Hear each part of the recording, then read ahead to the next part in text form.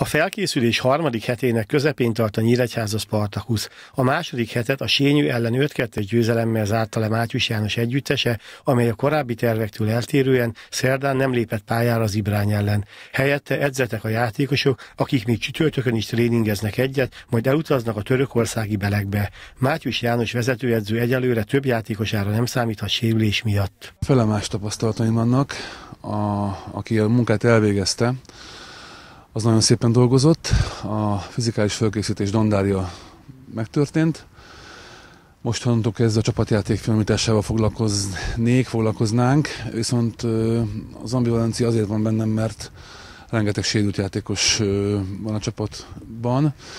Nagyon kevesen voltunk eleve is, és nagyon sokan kiestek különböző okok miatt. Ez nem jó, azon fogunk dolgozni, minél korábban ők visszajönnek, és minél korábban tudjunk a kimondó csapatjátékunkkal majd foglalkozni. A Spari a tavalyi évhez hasonlóan tíz napot tölt majd a törökországi belegben, ahol ebben az időszakban rengeteg európai csapatedző táborozik. Körülmények kifogástalanok lesznek, hiszen én voltam itt játékosként hát jó sokszor, edzőként eddig egyszer a Sparival, de a tavaly tavaszi jó szereplésünkben a tábornak óriási szerepe volt, nagyszerűen sikerült az akkori fölkészülésünk.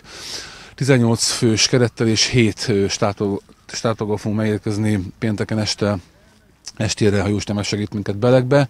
Remélem, hogy hasonló kvalitású munkát fogunk elvégezni, mint tavaly ilyenkor. A nyíregyháziak vasárnap a kazah első osztályú SC Kairat ellen lépnek pályára, január 27-én pedig a német Viktória Berlinnel játszanak pöléskeiék. A folytatásban még egy grúz és egy örmény csapattal mérkőzik meg a Spari, amely február 10-én a Magyar Kupában a Debrecen ellen játsza idei első tétmeccsét.